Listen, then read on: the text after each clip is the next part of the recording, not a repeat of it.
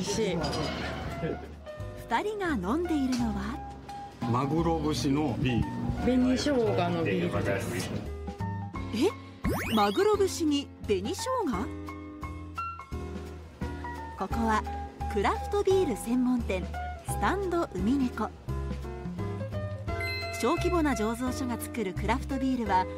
副原料に果物などを加えることで多彩な味を生み近年伸び悩むビール類とは対照的に市場を拡大しています。なんかおしゃれだなっていうのは感じますよね。めっちゃおしゃれ。ジャケ買いってやつですね。独特の世界観を作り出す人気の醸造所とは？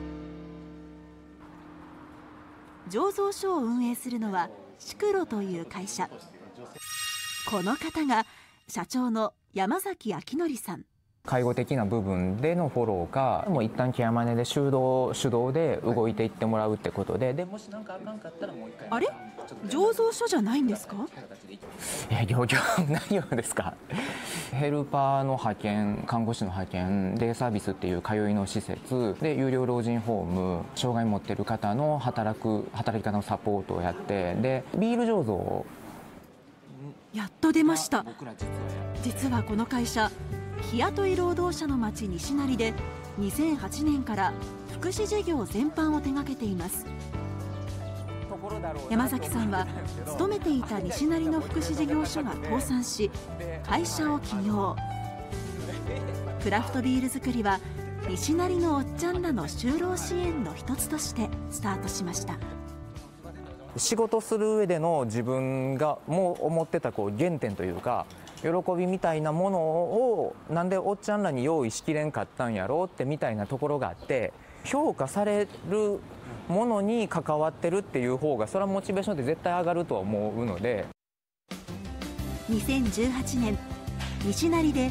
醸造所ディレイラブルーワークスをオープン。ええ感じじゃないですか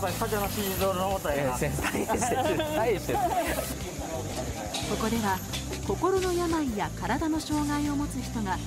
常時23人就労支援の一環で箱詰め作業などを担っています。もともとアルコールビール理論の人間やったその人間がビール作りをするプライドを持ってたやりがいがある。毎日楽しいですね。楽しいからなかったらね働けませんからね。工賃っていう、まあ、いわゆる給料に跳ね返ってくる形であれ働いてくれる人にとってプラスになる、あのー循環が作れないと意味がないので一番目指す作業線とおっちゃんらのモチベーションもう一段階上がらへんっていうのがあって。一番を目指すためにプロの醸造家が社内コンペで競い常識にとらわれない自由なレシピを開発。さらに。ロールプレイングゲームのパッケージのやつといいかもしれない。アートディレクターの岡本さんがデザインするのは缶のラベル。西成一帯の街をモチーフに架空のストーリーを織り交ぜポップに独特の世界観へ落とし込みますうまい水もうまい農産物もないしどっちかというとネガティブなことを言われるのは街中なので逆にどうひっくり返すか逆手に取るビールの作り方っていうのは心がけましたね。これにより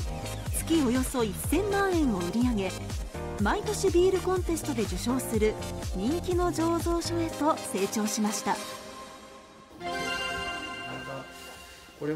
就労継続支援 B 型の全国平均のあの工賃ですけれども月額大体1万6000なんですがディレイラブリューワークスは大体3倍のですね4万5000円から5万円と、まあ、非常に付加価値の高いビールを作っていて基本直販で提供しているところでそれだけの高い賃金を払ってもですね十分成り立つというふうに思われます。